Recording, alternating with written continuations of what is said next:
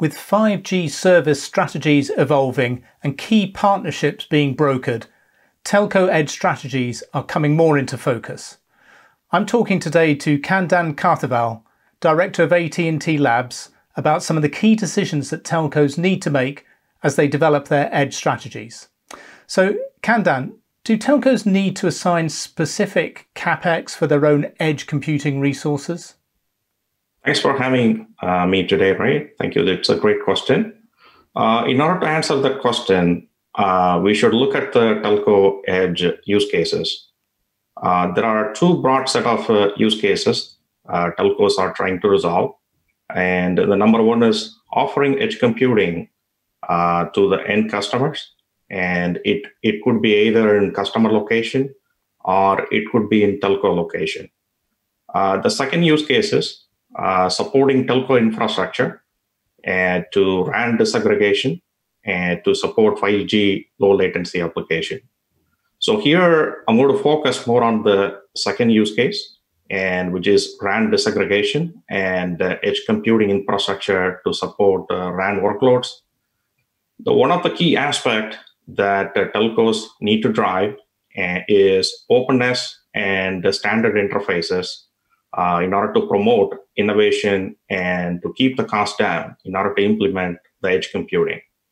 AT&T co-led the creation of ORAN and Akraino communities uh, to promote openness in RAN disaggregation and edge computing.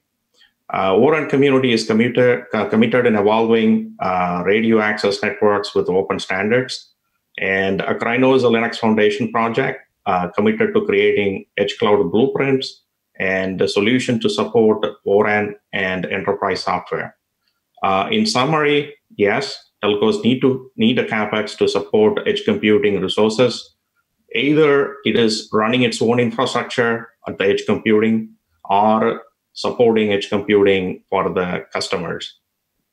And uh, the key aspect is also that uh, telcos need to nurture open standards and open source to keep the cost down for the telcos.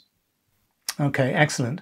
Um, so, in that specific uh, example, or in fact, in, in any of the edge use cases, can existing resources be used or upgraded, or is new infrastructure required? Uh, it really depend, depends upon the telco and it varies per telco.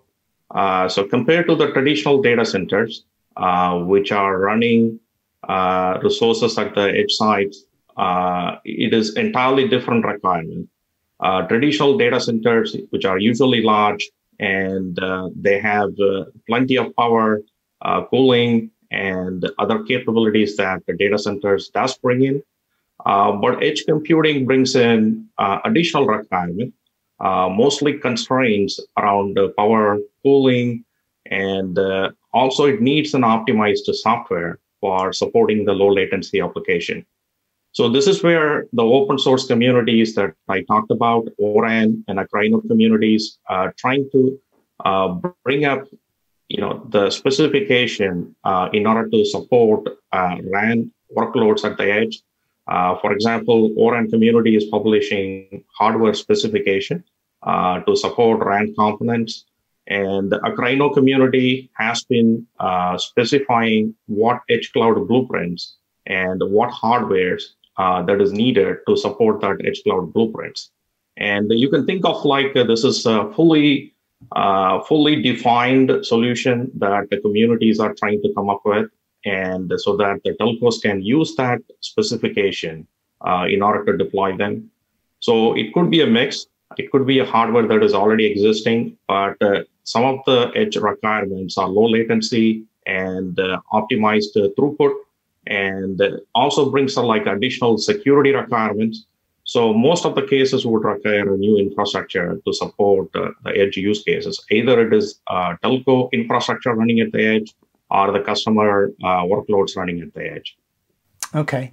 Um, and so, are there any specific carrier class edge computing systems that, that operators need to consider, or is off the shelf compute and storage suitable for these instances? Uh, in general, to keep the cost down, uh, commercial off the shelf card servers and compute and storage, they are very suitable for uh, edge uh, deployment at telcos. Uh, but we should also look at additional availability requirements and the application requirements uh, that including uh, application that requires low latency, high security, and uh, video processing at the edge. They would need additional, you know, special hardware that including hardware acceleration, optimized storage at the edge, and AI, AI and ML processing at the edge, which would uh, require additional uh, support on the hardware. Uh, but in order to keep the cost down, uh, Akraino and O-RAN community, they are looking at uh, using the commercial off-the-shelf and also the open compute servers, uh, which can promote open source ba- based you know, interfaces for the applications. So the intent to keep the cost down and the off-the-shelf compute and storage with additional uh, components, hardware acceleration, and those would uh, keep the cost down for the telcos. So, Kandan, you, have mentioned Akraino uh, a couple of times here. Uh, how can open source initiatives such as Akraino uh, help telcos with their edge strategies? What, what can this actually help with? And are more operators getting behind these kind of initiatives? it, it is a great question. Uh, there are many open sources exist. Uh, so, for example, if we take OpenStack, Kubernetes, then operating system. So, some community has to put together all the piecemeal for the edge computing end-to-end solution uh, that can be deployed at telcos or, or even in enterprises. So, Akraino community, what it does is it picks a edge use case and then defines what software, what hardware, and what networking components are required, and what, what it calls as a blueprint. So it put together the whole solution for, for that specific use case. Uh, and then it uh, test in a specific hardware labs and uh, look at the performance of that specific integration and uh, provide support for security and the CI CD integration for ongoing support of that software. And that's what Akraino community collectively called as blueprints. And these blueprints are very critical for uh, telcos and as well as the enterprise. The reason is this provides them the one spot place for the solution that they need to deploy at the edge edge location. Uh, either it is an infrastructure or it's either it's the integration of application into the infrastructure. Akraino community supports them. So without this, then telco would be going into multiple open sources and integrating themselves, and uh, which would increase the cost for each one of the telcos. And that's where the Akraino community solution uh, comes forward.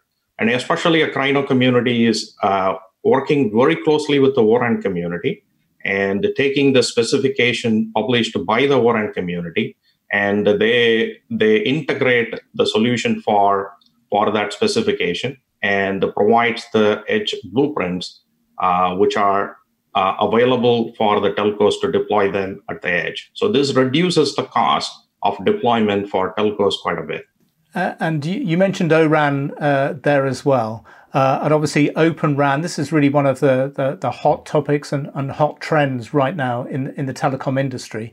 Uh, how can Telco Edge uh, help operators with their next generation radio access networks?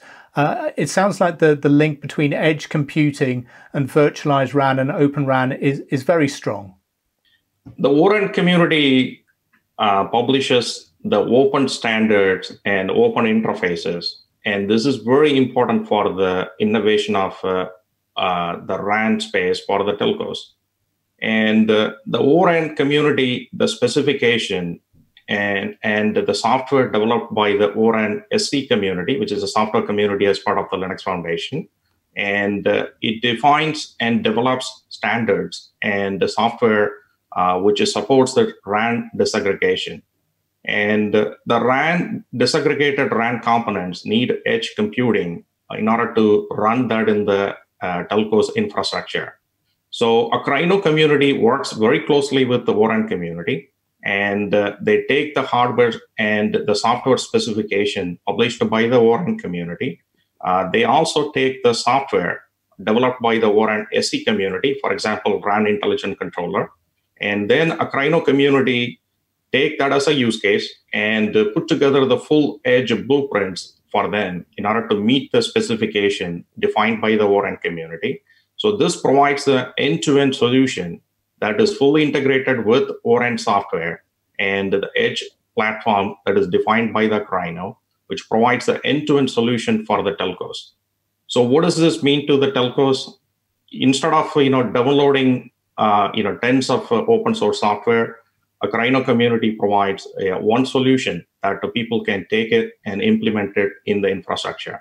So this really brings down the cost for the telcos. Okay, excellent. Well, that's certainly what the operators are hoping for, and that, that sounds like a very key relationship in, in, like I said, is what is one of the really hot areas in the industry right now. So, Kandan, great to speak to you today. Thanks for giving us the perspective on how the open source community is is feeding into what's going on in in Telco Edge, uh, and thanks so much for joining us. Thank you, thank you, Ryan. Thank you.